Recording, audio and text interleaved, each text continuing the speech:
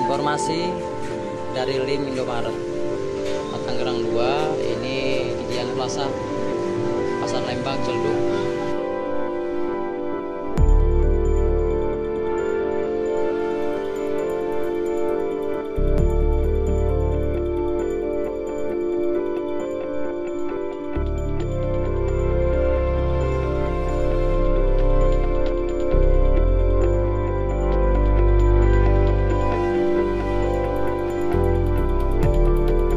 Informasi dari Link Indomaret.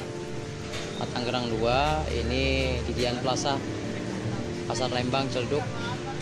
Nah, hari ini informasinya ada pembukaan lowongan di Indomaret cabang Tangerang 2 dan ternyata setelah mereka kumpul posisi di luar hujan deras mereka kumpul dari pagi. Nah lihat ternyata tidak valid. Dan importnya itu katanya hoax jadi gimana nih pihak Indomaret untuk tanggung jawabnya? Kasihan nih adik-adik kita